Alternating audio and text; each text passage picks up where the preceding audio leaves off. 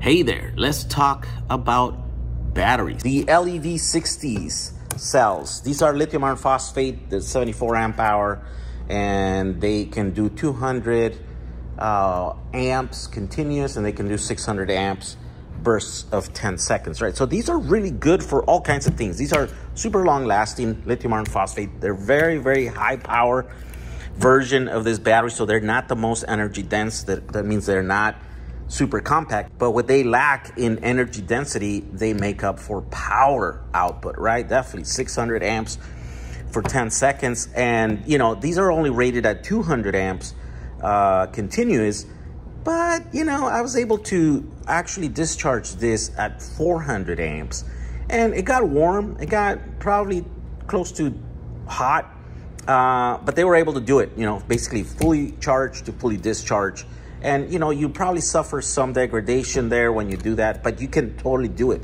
That's the cool thing about these cells.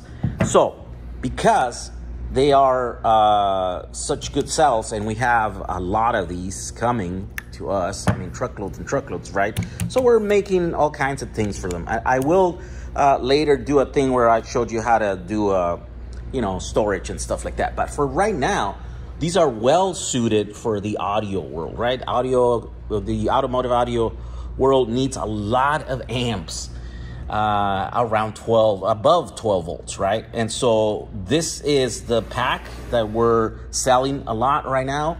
It's just four in series, right? So this is a regular 12 volt. This is this these cells were designed and sold to BMW to be used like this and in a 4S 12 volt configuration and they use that to start their, their cars and to do all this other stuff right?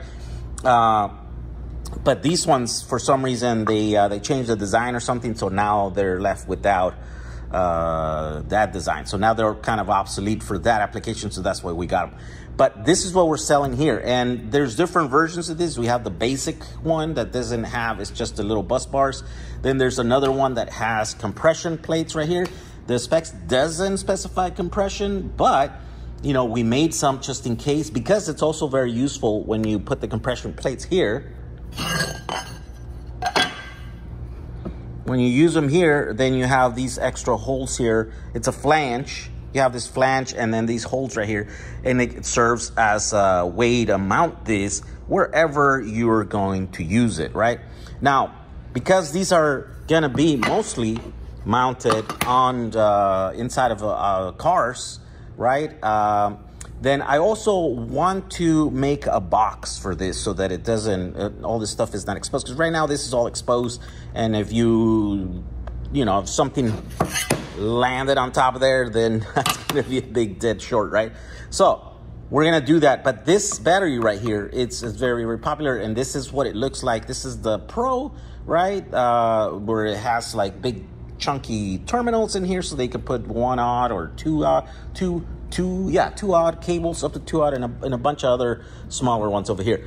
But what people have been asking is a high voltage version of that. So what the audio world is doing is they're running their 12 volt systems higher, you know, up to like 16 volts. And for that, they're using uh, other cells that will, they, they put out higher voltage, right? So in this case, what we've done here is just add an extra cell to this lithium iron phosphate battery. And so basically what this is, the safety of headways, but the power of CMAX batteries, right? CMAX were a cell that people were using because it was it could put out quite a bit of power and small powerful but the thing is that well if you overcharge it or over discharge it a bit too much then it would tend to swell up. And let's just say it's not as stable as lithium iron phosphate right? So this is by far safer the, the, than the NMC lithium cobalt oxide versions of that. So this battery here will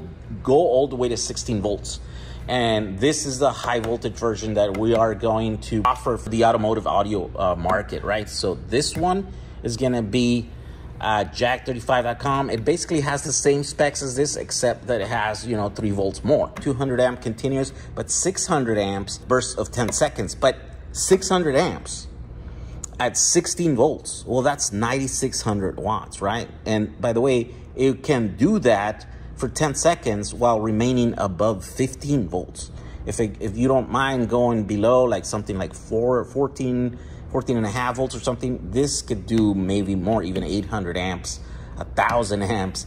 And so this is a very, very powerful high voltage battery that will sag about 14 and a half, 14 volts or something like that. But when you're loading it with above 10,000 watts, this thing is pretty, pretty crazy. So that's why this is a high power, high voltage battery. And we're gonna offer this at jag35.com. If you're interested in this, just go check out our website.